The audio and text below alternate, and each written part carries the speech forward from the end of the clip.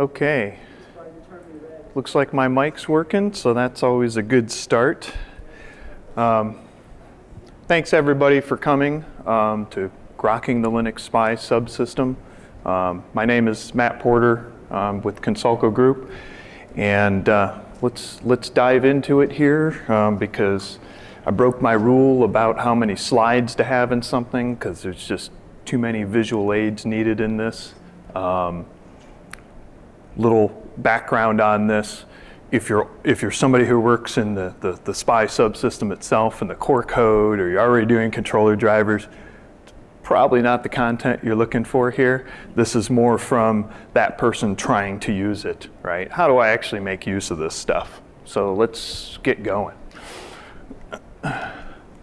Oh, turned it off already.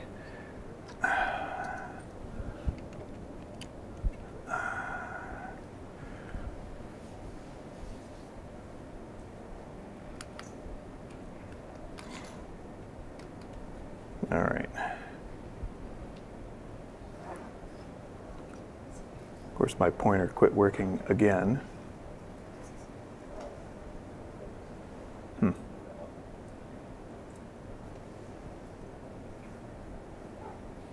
All right, so um, one of the things I try to do is that uh, we get reminded a lot that we have a very diverse community these days.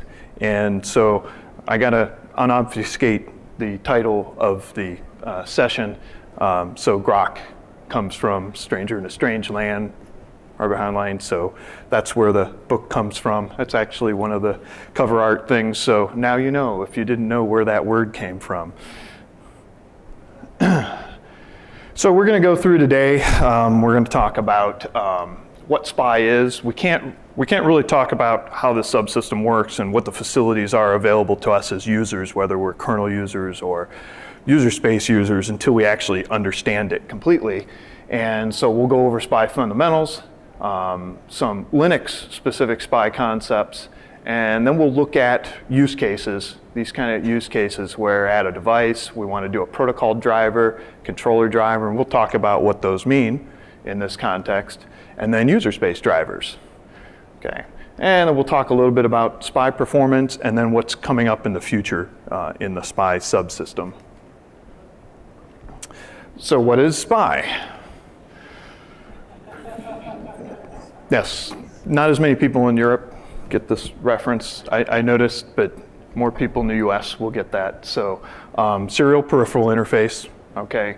Um, it's a Motorola uh, de facto standard. Um, this comes back from HC08 microcontroller time frame. They had introduced this right, right around there. For any of you that started in university working on HC05, HC08s like me, dating myself, you might have seen this stuff back then. So um, it's a master slave bus. Um, it's a four wire bus, except when it's not. So nothing is simple. And uh, there's no maximum clock speed, right? So we can go maximum ludicrous speed like a Tesla. And um, one joking comment about SPI itself is that it's just a glorified shift register, right? Or shift register with side effects. So if you want to get into the more detail, gory detail, you can go to the usual source of knowledge there, Stack Overflow, of course, um, and hope that people haven't defaced the page. All right, so, um, so let's talk a little common uses of SPI. Uh, we're embedded Linux engineers or budding embedded Linux engineers in here. You probably have seen some of these. Maybe you didn't know all of them. But just to give you an idea of the types of peripherals um, that have uh, SPI bus support, uh, flash memory is a big one. Okay, um, a lot of SPI flashes, uh, analog digital converters, uh, very popular. Um, a lot of uh, sensors, uh, thermocouples in particular is one type, LCD controllers. Um, the Chromium embedded controller has a, a SPI uh, interface to, to name some uh, one particular thing in a known product. So um, a lot of different things, um, and a lot of these have one characteristic in common. Um, they're actually relatively high data rate peripherals compared to I2C peripherals. So um, that's just a little, little idea of the flavor of things we see with SPI. So let's talk about fundamentals. So we really need to understand uh, first what the SPI signals are that we use. And um, so uh, pretty simple, the, the de facto standard name, and so we're all driven by the original Motorola naming for that. So we'll tend to see MOSI, or however you pronounce it, that's how I do it, master output, slave input. But as I show here, there's lots of other names for it when you start looking at data sheets and, and, and your user manual and so forth. You'll see SOMI, you'll see SDI, you'll even see I2C naming, which is kind of uh, a little bit of a problem sometimes on data sheets. Um, MISO, master input, slave output, okay? And the name gives you a clue of what direction things are going. That's the beauty of those, right? Um, same naming issues, okay? Um, because it's a de facto standard, people will go and adjust things a bit in their version. Um, your serial, serial clock, which is a master output, and your slave select, so master output. So this is the simple, um, basic, original uh, way that, that, that, SPI shows up, the basic symbols, okay? And the slave select, that's also known as chip select, um, and we'll see that that's how it gets referred to later in the, the kernel stuff as well. Okay, so wow, I am excellent at drawing diagrams, as you see. So with a little help from tools, so that's about as good as it gets. So we like things simple, so first we show the most simple thing possible, right? Those four signals, right? Exactly the directions I promised them and everything, marvelous, right?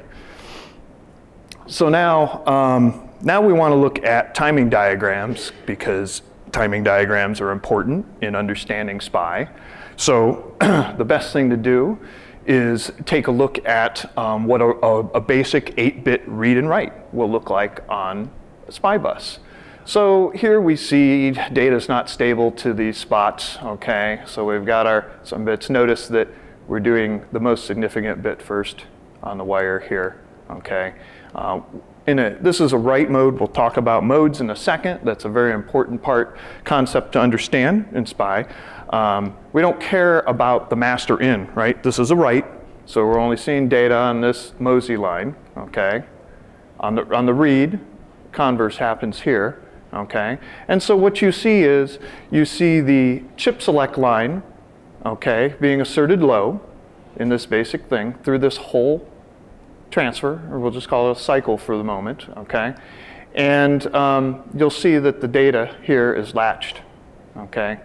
on the rising edge, okay? And the same thing's true, okay, on a read. And you'll see that the chip select went low during that whole transfer. So that's your basic transfer. Simple, right? So um, Now we need to understand SPI modes, right? I hit you with SPI mode on there. I don't tell you what it is. Now I'll tell you what it is. Um, so it's essentially uh, clock polarity and phase of the clock relative to where we're latching the data. A very simple way to look at it is that when, when you have clock polarity, um, where uh, the idle state of the clock is low, then you CPOL is zero, okay? And if the idle state's high, then it's one okay? And then clock phase, it's simply data is latched uh, falling and output on rising. And one is data latched on rising, output falling. We're going to take a look at this visually because it doesn't always make sense just with a bunch of words, right? Um, but if you understand the simple binary there, then you'll see that mode numbers are a simple mapping in this table so those mode numbers you're seeing 0, 1, 2, 3, as you see references in SPI, this is what they mean. And then we're going to show you what um, it looks like in the timing world. So um, you can see why I'm using a lot of laser pointer now because it takes a bit to, to look at this. So once again, we're looking at one version of what I, sh I, showed before. And so we're just going to look at writes in this case. So in each case, I just drop out the MISO line. We're just looking at, at output. And so I've got data here, okay. Um, my clock is idle low, as I promised, okay, in write mode zero. Data la is latched on the rising edge. So that corresponds back to that mode zero, okay. Write mode one my clock is idle low, all right, and it clocks, but the data is getting latched here on the falling edge, and you see falling edge lines up with where our data is stable all the way down. So that's write mode zero and one visually. And then um, now when we, when we go to, um, when we go to uh, write mode two, these are both where CPOL's one, okay, on this slide. And so what you see is our clock is idle high, okay? Data is latched on the falling edge, and so you see it lining up. And the same thing, our clock is, is idle high in this case, and it's latched on the rising edge in write mode 3. It's that simple. Works the same way when you're doing a read, but we just need to show you, you know, the, the, uh, the cases in, in just a write to simplify the timing diagram. Okay. All right, so great, simple, right? We know everything we need to know about SPI, except it then gets more complicated in the real world. Um, we have lots of simple cases that work like that. You might just have one device, um, but the reality is you're going to have quite a few, and that's where your chip select comes into play.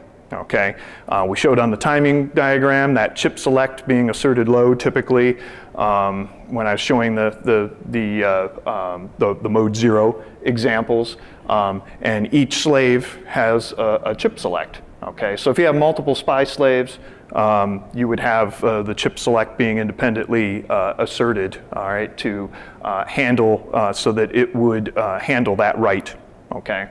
Um, the next thing that you see is there's daisy chaining, and there's a common type of daisy chaining where it's the inputs to outputs, okay, so uh, of, of the devices. There's another rarer one, which is where chip selects get daisy chained. Um, and I see one person perplexed by that. They've never seen it. And, but that's the beauty of de facto standard. Everybody can do whatever they want. And I can tell you that the, the Anadigm um, field programmable analog arrays actually do this chip select daisy chaining, which is super ugly.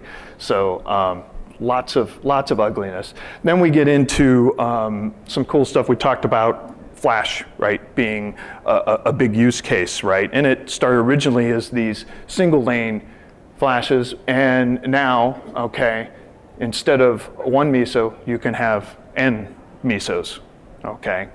Um, it's a little bit more complicated than that, um, but on, on a read, um, you can have dual or quad uh, MISOs typically um, in those devices. And of course, now you have n times bandwidth when you're doing reads, which is that fast path that they're trying to optimize. Okay. And then we have the microwire three wire variant, the one I promised, except when it's not four wire, and they handle half duplex. Okay, uh, well, half duplex. So MISO and MOSI are combined on the same line. So a few different variants. Um, that and again, another one of my masterful drawings where you see how you hook up um, you know, three different SPI slaves. Notice, as promised, that there's multiple chip selects. I'm, I'm using the original terminology, slave select, um, there. Um, so you see slave select one, two, and three are only routed to each of those, and all of the signals um, go appropriately to all three devices, okay? So one master, many peripherals or slaves. So now, if you can see this eye chart, um, and I apologize, I can't point to both sides. uh, but uh, now we look at multiple slaves. What does that timing diagram look like? Well, it's exactly the same, except we've got three chip select. So again, I just have to pick one mode for illustration purposes, and we're latching on that rising edge, right? And it's, it's uh, the clock was uh, uh, idle low, right? We're latching on the rising edge, but notice that the chip select, right? Before that clock edge where it's gonna latch, um, it's, it goes low for that entire cycle. Then here, this next set of data on slave select two, okay? And then slave select three. So pretty straightforward there.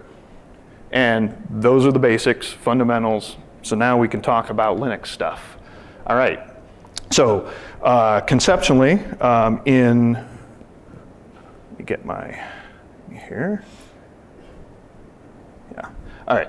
Um, so now conceptually with with Linux, we have the concepts of controller and protocol drivers, okay? And controller drivers support a SPI master device. So when we looked at that fundamental piece of hardware, whatever houses that that peripheral, that IP block, right? Normally in our SoC these days, um, that's the driver um, that that runs uh, that hardware, okay? And so um, things are carefully separated in the SPI subsystem so that um, everything for the controller is just the basic pieces to do um, clock control, chip select control. Think back to our signals, right? We're dealing with that serial clock signal, right? The chip selects, right? And then running that shift register that we talked about, right? And there's a lot of details involved in that, but at a high level, it doesn't know anything about your end peripheral, right? Um, now, so an example would be take, take the Raspberry Pi series, the, the BCM2835 AUX driver, that'd be an example of a SPI controller driver you might use, okay? So now, protocol drivers, they support whatever's needed to drive the actual functionality of that SPI slave in our block diagrams, right? And um, so this is completely based on a concept of messages and transfers, which is uh, Linux terminology, okay? And we'll, we'll talk a little bit more about that. Um, and the protocol driver doesn't know anything about your controller driver, right? Um, so it relies completely on the controller driver to do all that chip select work, right? All the shifting and stuff. So it's neatly separated. All right, so an example there would be, let's say you were using a ADC in the IIO subsystem like MCP3008, um, that's a protocol driver. And if you're familiar with SPI-Dev, which we'll talk way later about in user space stuff, that is an example of a protocol driver as well. Okay, um, so how do we do communication in the Linux SPI um, subsystem? And so fundamentally, as I promised, the communications are broken up into uh, transfers and messages. And, and so a transfer is a single operation between a master and slave, okay? Um, and so the, uh, so the structures, um, that are the, the transfer structure has things like uh, transmit and receive buffer pointers, okay? Um, it has uh, uh fields to control uh, chip select behavior after operations. What's, what's the behavior of that chip select as, as to whether it becomes uh, deasserted in between transfers before the next one. And we'll talk a little bit more about that later and, and how tricky that can be. Um, and things like um, you may need a delay after your transfer. So all this goes into when you're looking at that data sheet um, for your, your peripheral, um, it, it has timing requirements and it may need a certain span of time before you send that next transfer, whatever it is. It depends on the protocol it implements, okay? Um, so you're able to define all those things in there uh, in, in a transfer. Um, and then a message is just an atomic sequence of these transfers. So, and then um, a message is actually that fundamental argument to all the SPI subsystem transfer APIs. All right. So basically, imagine a linked list of transfers. Right. And another great diagram. Right. So that's what a SPI message looks like. So now let's get into use cases, and that'll take us into how we do these various things. So um, if we explore some of these common use cases that people need to do, the first thing people seem to want to do is, I need to figure out how to hook up this device that's on my board I've got, right? And there's already a, a kernel driver for it, right? So that's one. The next thing is I need to write a kernel protocol driver, right? And then the next big thing, and less common, right, because uh, most of them are written for us, is I need to write a, a, kernel controller driver. And then finally, one of the big ones, and you see kind of, especially from people doing testing and some of the maker type projects in user space, is I want to do something in user space to drive my SPI slave, okay? All right, so let's jump into adding a SPI device um, to your system. So the first thing is we need to learn how to read data sheets because a lot of people can't seem to read data sheets. So we're going to force you through reading a data sheet very quickly. And um, I'll show you what I mean by that and the type of things you need to pick out. Um, but there's three methods, okay, after we do go through that, that we hook, we hook up a protocol driver in our system. And first is the ubiquitous de device tree method that most of you will use. Um, then there's the board file method, which some systems will still use, especially old vendor trees. Um, if you're unlucky enough to be there, sometimes some of the x86 stuff, because ACPI is tough to use. Um, and um, so you'll see the latter two mostly on x86 and vendor kernels uh, these days. but we'll look at all of them.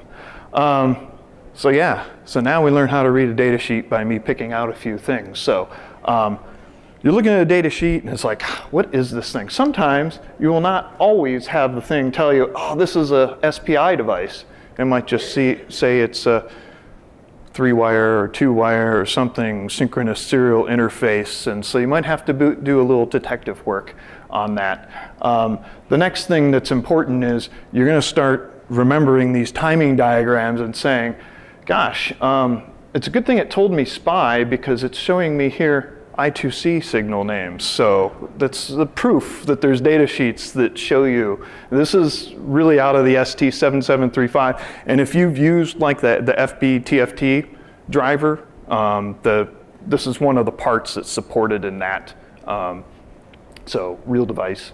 Uh, and so the idea here is um, you need to remember things like uh, I need to figure out what's the maximum clock rate that um, that my device can, can support, right? Because I need to tell um, the system what the max clock rate is when I'm hooking up a device. It's one of those critical things, right? So you're gonna have to be able to read this timing diagram. Well, it maps exactly to what I was showing you because, and boy, that resolution's awful here. Um, so you look at these two values, you look further down in the table, and you find um, you find the, the hold times on these, right? And so you can get, with simple addition, you get the period, and uh, if you're any good at math, I hope you can do minimal math, you get the frequency, right?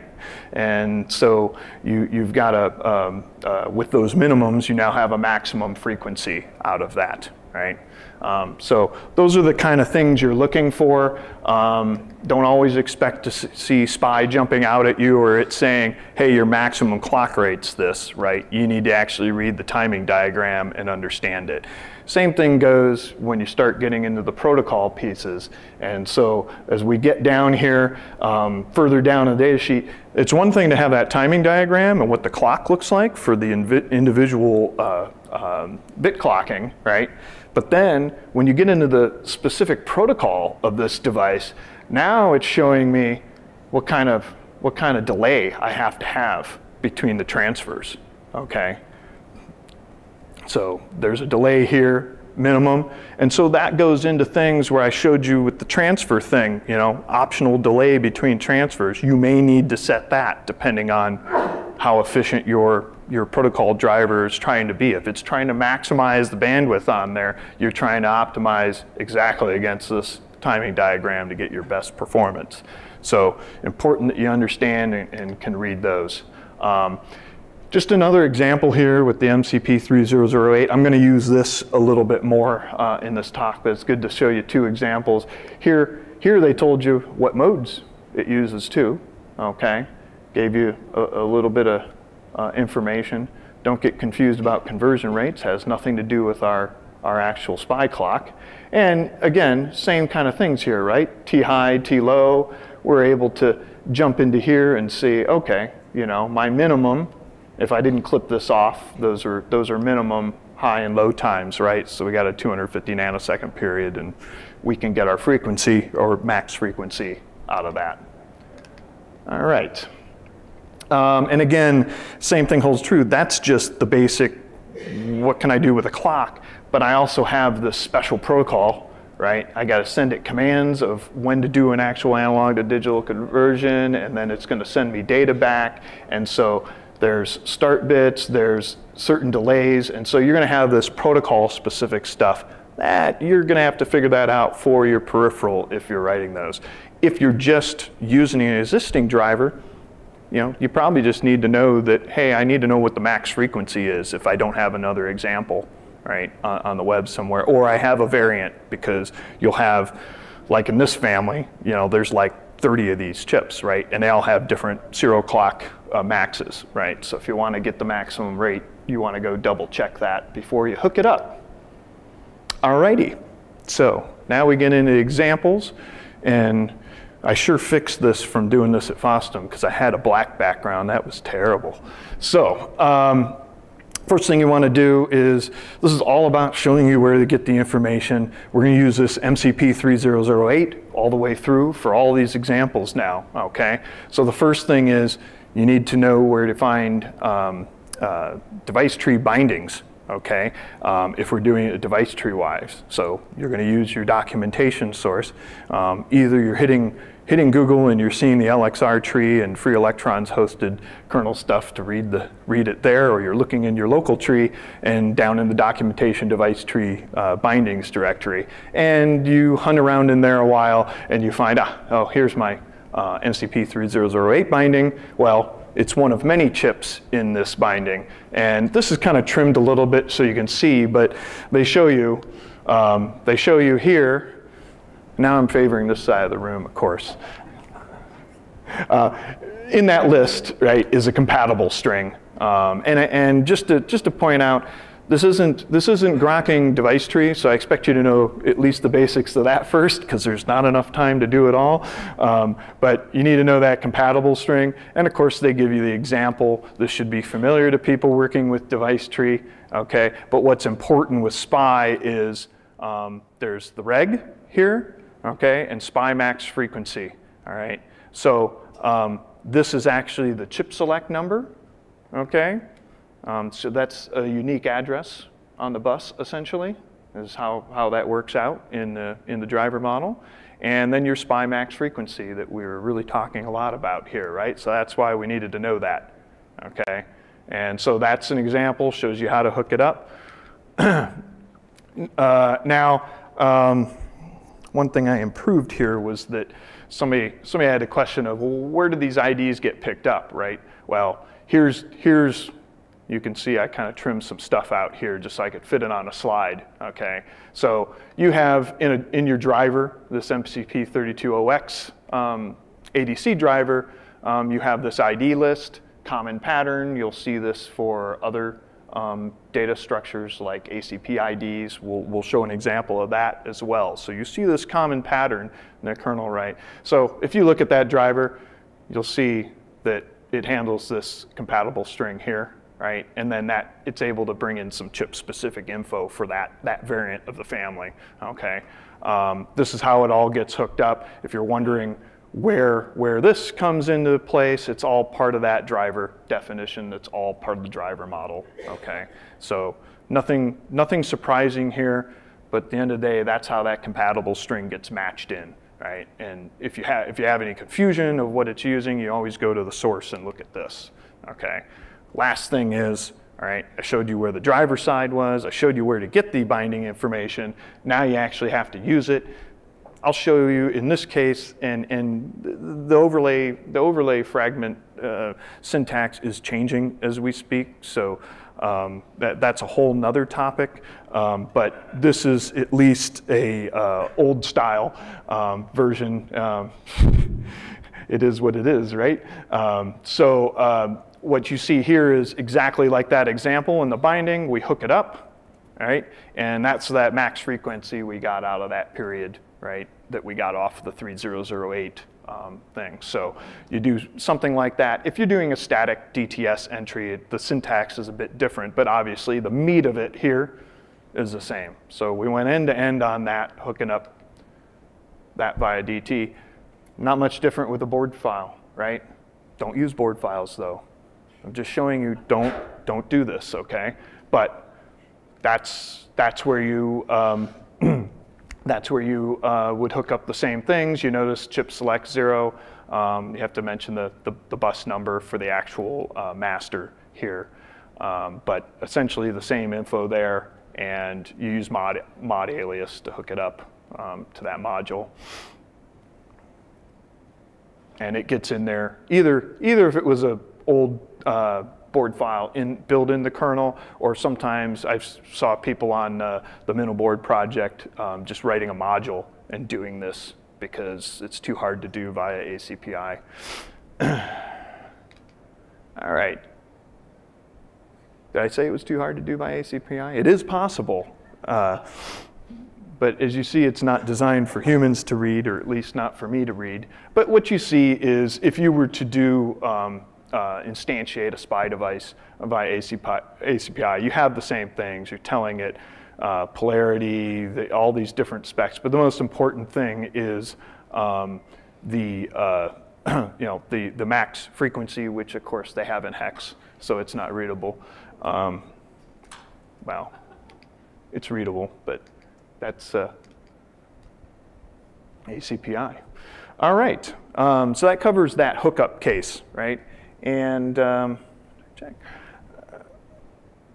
Yeah, so uh, protocol drivers, okay, same, um, first thing is they follow a standard driver model, just like everything, and that's, you know, when I'm showing up, hooking up a driver, I show you the driver IDs, and I show you all those pieces, it's all standard driver model, it's just SPI using that. And so I want to do a protocol driver in the kernel, I need to uh, do some basic things, and I, we don't show everything, but um, you need to define that driver um, structure, right?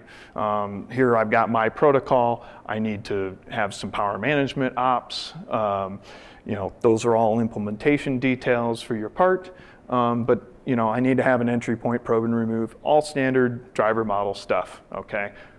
Once, once you enter the probe though, you can immediately start using kernel APIs. Um, and we'll talk about the kernel APIs now. So kind of diving in from that use case perspective. So what are the kernel APIs available um, uh, to these protocol drivers? Well, pretty simple, um, two, two big categories, async and synchronous surprisingly enough, right? So first you have SPI async, okay?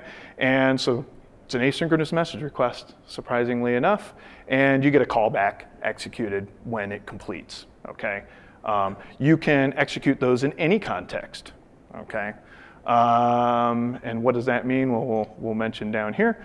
Um, so if we go to SPI sync, it's a synchronous message request, and we can only execute in a context that doesn't sleep, okay? So in a common case, don't do it in an IRQ context, all right? All of these later things are all wrappers around SPI async, so there's not any real magic going on. It's just that thing's going to wait for the transfer uh, to complete and then return to you, okay? Um, and then there's some helper functions that again wrap around SPI sync, SPI write, and SPI read. Um, recall that I said that the message is that fundamental argument to everything. So when you're using these, you're handing it a message was just a list of these transfers, right? And those, you're going to define those transfers as whatever satisfies the protocol specific to that part that you've carefully studied the data sheet for. Um, there's some uh, other ones for special use cases. We mentioned how um, flash devices, uh, commonly now especially, right, um, are dual, well, mostly quad now, um, uh, quad SPI capable. So there's optimized routines for those. And also these are optimized because, because of the quad SPI things um, being such low pin count, um, they're, they're replacing um, uh, NOR flash, old style parallel NOR flash, because the speeds are very similar now and the reliability uh, of those. And so um, there's actually, um, think, take for example the DRA 7XX stuff from TI, they have um, an MMIO um, controller that translates into flash commands, okay? And so it can actually XIP out of these SPI flashes that way. Um, then um, we have um, the, these other helper APIs in, um, that, that allow us to create and build up that message, right? It's that list of transfers. So we need, we need helpers to help us out here.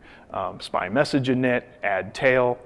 Some of those patterns will look familiar as to other subsystems in the kernel and how data structures are, are managed. So you can build up your message as a bunch of transfers, all with relatively unique characteristics.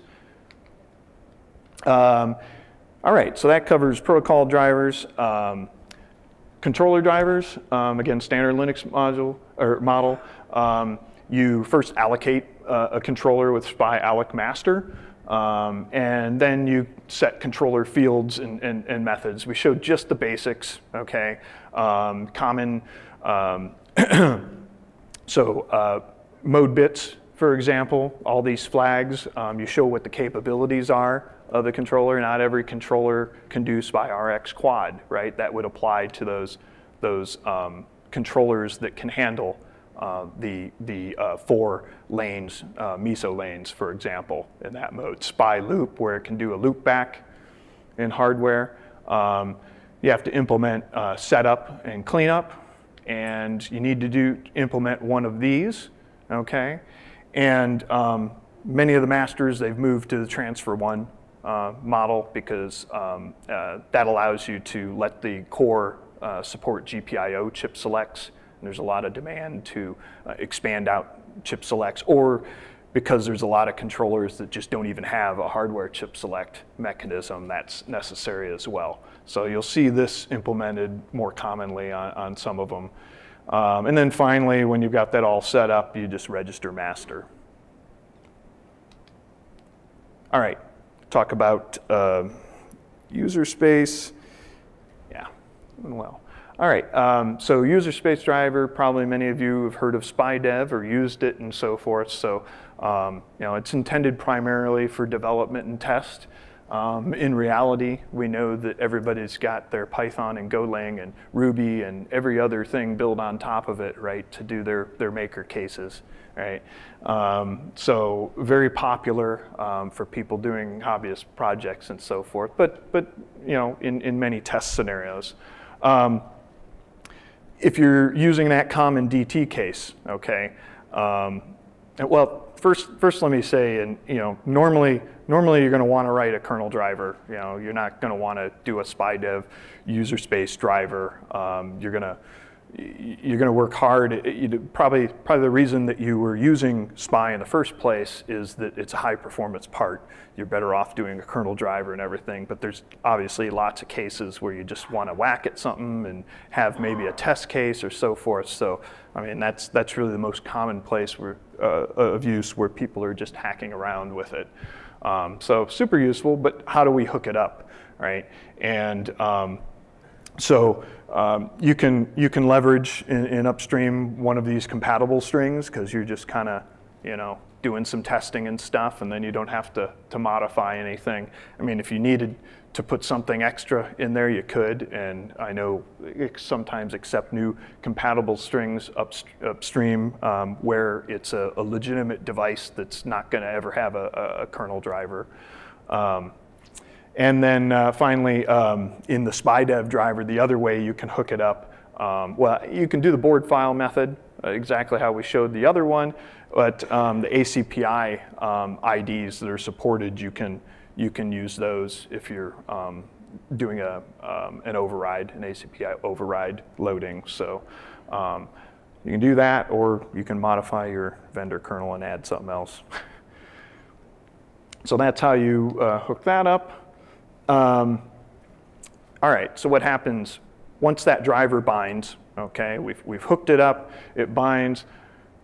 The magic that happens is that we have this the sysclass SPI-Dev devices get created.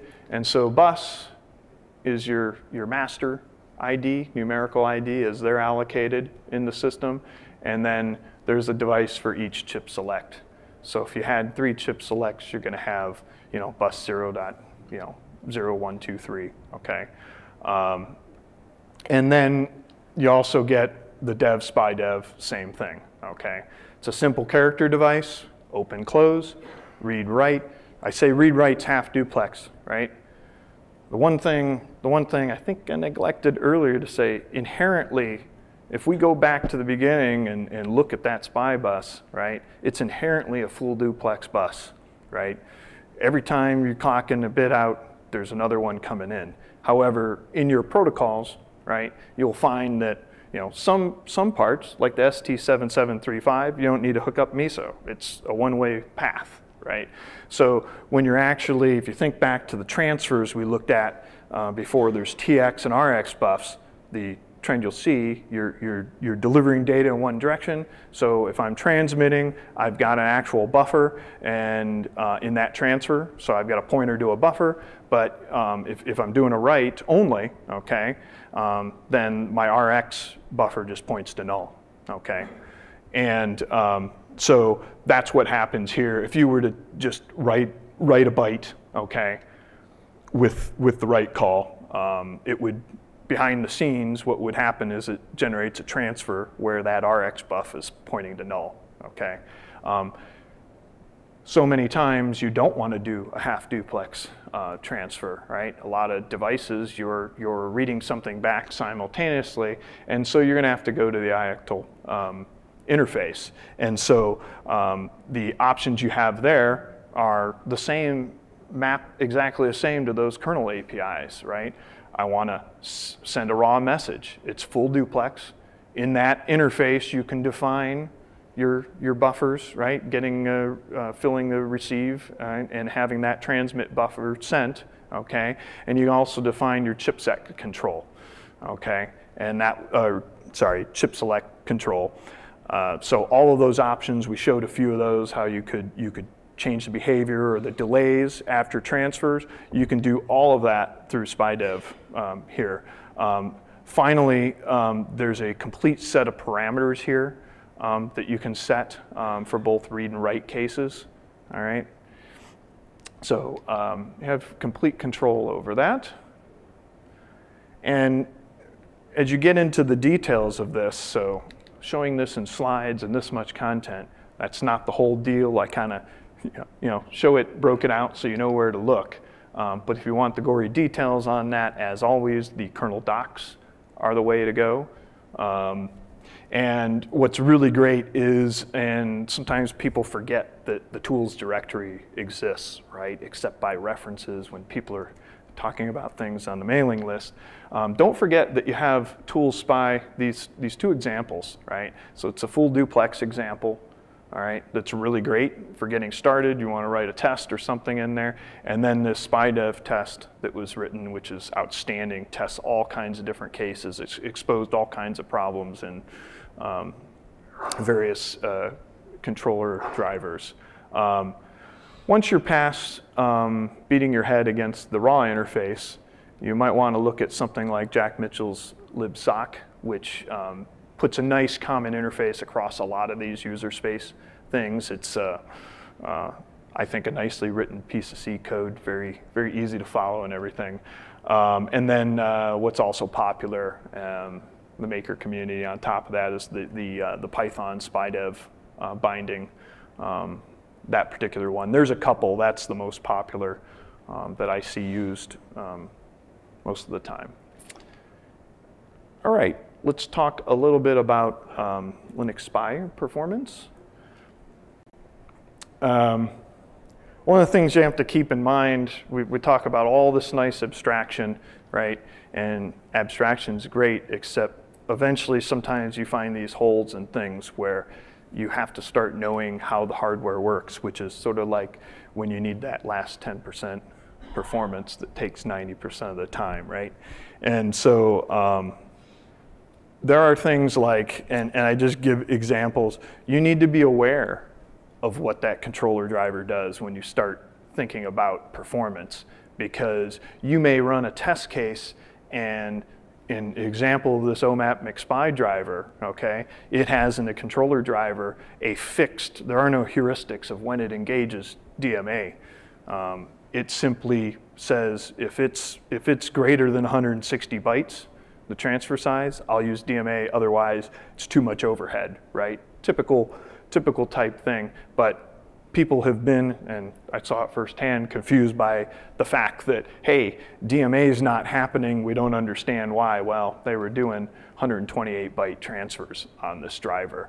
So you need to be aware of that. Um, there are other cases very specific to various controller drivers when you start looking at the thing um, on your logic analyzer or whatever tool you're using on your scope and you start seeing that there's delays in it, you need to start being aware of those types of things in the controller driver. How they manage their chip selects would be other um, uh, areas that may, may not be optimized very well. Um, and then um, the, next, the next big area is you need to know when to use sync versus async, okay?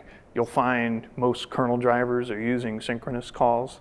Um, you'll find that um, there's some network drivers are the big users of async, right? And, and actually it's fairly rare, but that's the big place and it's because um, they, they're optimizing for bandwidth rather than latency, right? And that makes perfect sense there, whereas everybody else really wants to get that that little transfer out on the wire as fast as possible, right? Um, so they're typically doing the sync. Um, one of the nice things that came in um, in the 4, 4X series was that um, uh, sync will now attempt to execute in caller context. And that's made a, a big difference. So it will, rather than rather than sleeping, um, it will try to execute in that caller context. So um, further reduction in latency. So it aggressively tries to do that if possible. Um, and then this, this big one, okay, um, talked a little bit about how you can set all these different options in your, your transfer structure, right? When you're building up your message and you're creating transfers. Um, you need to understand that the characteristic, again, of that slave device, right? And what it wants to see optimally. Because, for example, if you have, if you have a protocol, okay, and you allow the chip select to go back high after each transfer. You add extra timing uh, delay in between the transfers. Your, your particular chip, it might require that, okay? It may not. Some of them can handle stringing them together and just leaving the chip select asserted. So as you can imagine, um, if you don't have to have the controller driver deassert that chip select after each transfer and then reassert it, and you're going to the same device, you can improve performance in a way that you can quantify when you're looking on the logic analyzer and, and seeing that all of a sudden, okay, now I can string these transfers together and hit that maximum timing diagram they showed me in the, in the data sheet. So this uh, is the canonical good explanation of how that CS change um, field works. And uh, you know, it's a, it's, a, it's a pretty detailed one, right? But that's how you actually manage cases like that. So if you've got a part, right, um, where you want to have, um, uh, where, you, where you want to control that, that chip select in any of those different variants, you do it here, okay? So um, note, the important thing there, this is in the SPI header, right? Most of the other important docs are in the actual documentation directory, but this one I think is, uh, you know, it's meant, CS change is mentioned, but it's often confused and you'll, um, it was actually implemented wrong in the IIO subsystem for a long time, in fact. So um, yeah, they fixed that up. I can't remember where I saw that coming in, but they realized it was wrong for a while on that when someone was doing some performance analysis. Um, so keep this in mind as well. And the other big thing is, you know, there's no excuse for not having good performance and debug tools these days, right? Um, so you have to have it if you're trying to get decent performance because you can't fix what you can't see. And so, you know, you can look at, at these uh, resources here. I actually prefer sigrok's source, right? Because they have uh, a great comparison of everything they support or don't support um, there for logic analyzers. So for things that are now well under $50 US and have been for a while, there's really no excuse not to have even a, a simple one.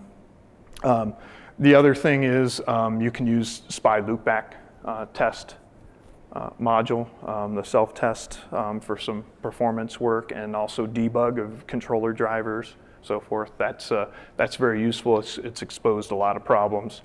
Um, and then finally, one of the, the uh, newer things, relatively new, um, uh, that came in is this uh, great set of statistics.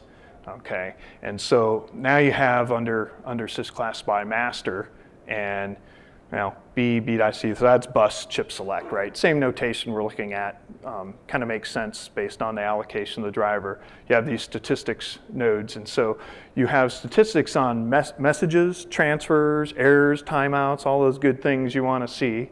Um, and also, um, you know, I talked about how it tries to optimize um, for executing a caller context right? So you're writing a driver or you're doing something in SPI-Dev, you can go look and see how many times it did that transfer with SPI sync and how many times it actually executed in caller context, which is what you really wanted, right? To, to avoid if you're going for reduction in latency. So you can use that to start, you know, having that information.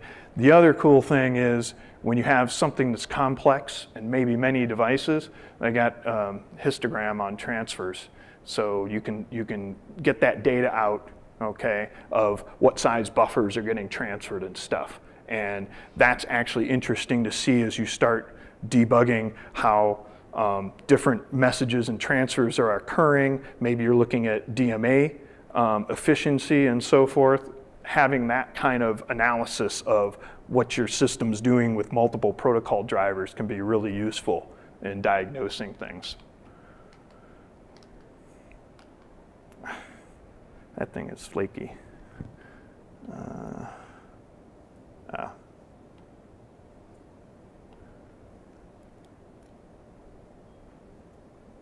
All right. Okay, and time check. We're going real quick on SPI future. So slave support is coming. Um, um, actually, I didn't look in the last couple weeks where, where we're at. been traveling. Um, but um, so, uh, so hard real-time issues, right, on, on, Linux and the, the inability to have very tight time constraint determinism has made um, you know, slave support kind of problematic in a generic way.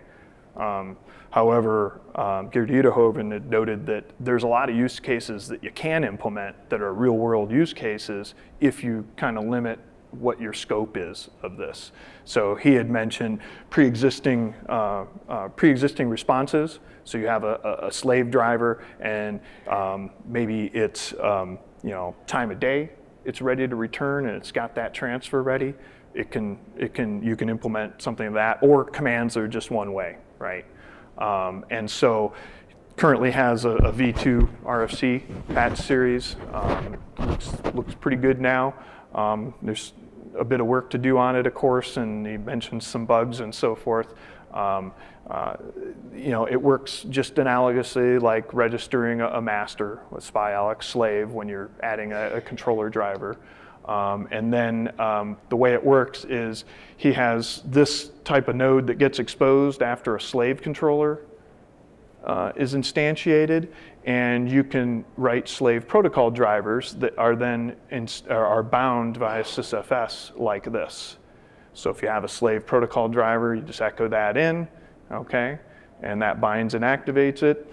And um, he provides in that RFC patch series on the previous slide these two examples, which actually map neatly to those two use cases. Um, he, he says where this SPI slave time just sends the latest uptime back, just an example of that type of use case. And then SPI slave system control, which is power off, reboot, halt system, right? Um, so it, it, it accomplishes those. All right. Any, I think we have questions.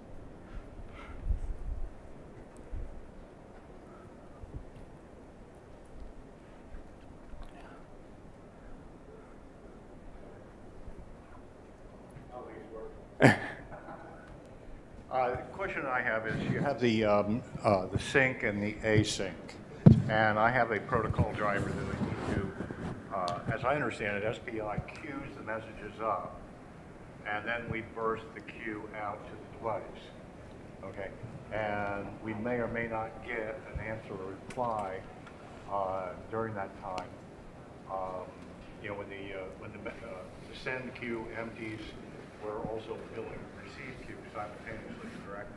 Are, are you, are you talking about actually on that slave device or in the subsystem? Now, the sync versus the async. Okay. When I fill a message queue and I call the sync or I call async, does it immediately empty the queue uh, through the hardware or DMA mechanism to be sent immediately? Or is there like a flush command you got to do? The, the, the, the SPI sync will try to execute that immediately. The sync will. Uh-huh. Great. Okay, thanks. It can sleep though. Uh, During the operation? It, it, it can, it, it can sleep and, and block, yeah. Okay, so I don't want to sleep. Well, not block, but sleep, yeah. You, you don't want it to sleep. So you would use, you, you could use SPI async and just hook a callback. That's, that's what, uh, I forget which network drivers, if the, not the, I didn't think it was ENC.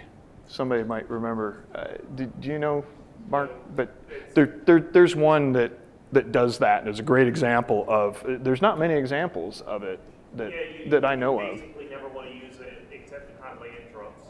Yeah. But it, it works in the network driver type thing. So I, yeah, it, very limited use cases. So speaking of interrupts, it, right, There. um, let's say I had an SPI device that, I mean, SPI do- inherently doesn't have an IRQ, but if you have a GPIO that Yep. says, hey, I need service now, can you talk to how, how you would tie that in? Or is there a way to have SPI Yeah. poll in the background to see what? No, no. Okay. So, so there's a separate subsystem for these things. The GPIO subsystem offers all, I get to say disclaimer, that's out of the scope for this talk now. Different talk, right? But the GPIO subsystem, so, so when you're building a protocol driver, again, this is all simplified. That's, that's like an everyday case, right? That you've got the IRQ that's out of, out of the bounds of SPI. But in reality, when you're writing that protocol driver, one of the other resources you have to hook is that GPIO, and you need to request the GPIO using the, the GPIO framework and set it up as an interrupt, okay? You, well, you, just request an interrupt.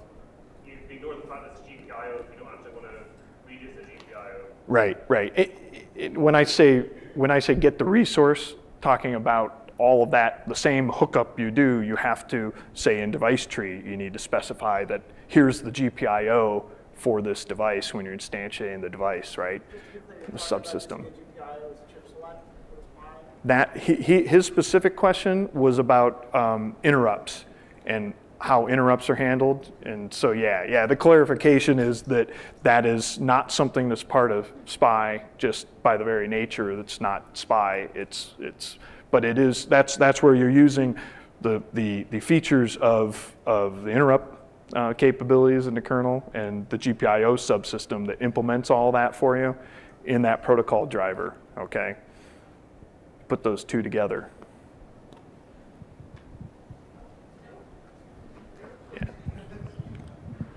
So I'd seen in using SPI-Dev that you weren't supposed to have it in a compatible string. Is that right? Because it's not a piece of hardware. And with BeagleBone, for example, there was like a patch that then made it complain really loudly, and I think we've All right. squelched that. Mark, this is going to be the last question because we're going to run it, but Mark, Mark should answer this because the maintainer of the subsystems here. What what what was the qu- actual question? can I, You can I, it into some file. I guess Yeah. that's what you're actually supposed to. So you were showing that instead of having SPI-Dev, you're actually supposed to have an actual compatible string for a piece of hardware, in which case you're supposed to add it into some file somewhere? yeah, Yeah, the SPI-Dev has a list of compatible strings, so just you're supposed to put it in SPI-Dev. Yeah. yeah. So yeah, just say SPI-Dev is how we handle that on Linux, or write a driver for it. Uh, well, so why was SPI-Dev removed from the compatible strings? Uh, because, um, like Matt said, SPI-Dev isn't describing the hardware; it's describing how you want to drive it on Linux right this very minute. Um, so we now complain loudly about it to, me, to make you actually um, describe your hardware because somebody might come along later and write a driver for it and then uh, you have no idea what it is. And even when you're using ow, even when you were using when you're using SPI-Dev, um, it's not very helpful for user space to work out which particular thing to do with that SPI-Dev.